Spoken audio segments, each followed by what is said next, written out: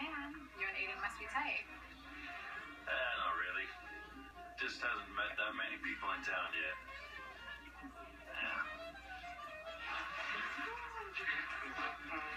Oh. Who's your brother with tonight? Somebody he works with. At least that's what he told me. Well, you don't have to hang out with me even if you want to talk with him. Actually, uh, I was thinking I could see the rest of the house, but maybe you wanted to come along. Sure. Okay. Hey. Hi.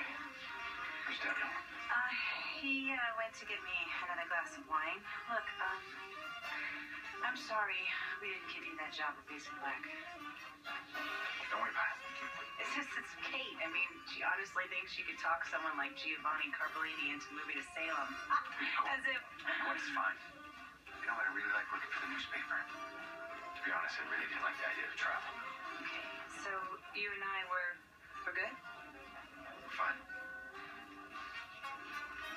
Hey, hey, Joe. Hi. How are you doing? Great, actually. Hey, you two have fun,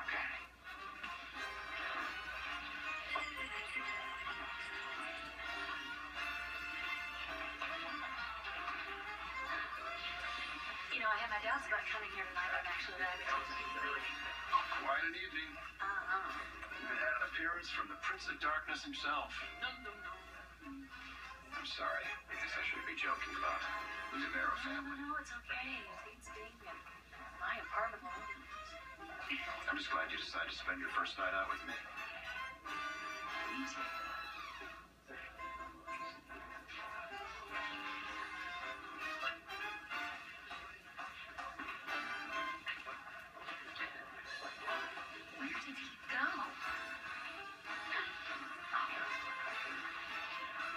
At least you'll have the attention of every guy in the room.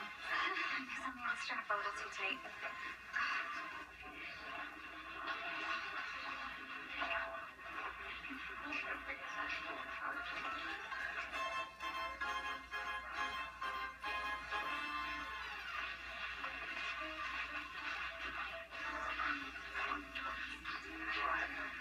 Hey, oh. Excuse me. Oh, wait, wait a minute. Think about jumping in the next dance. You can forget it. Oh,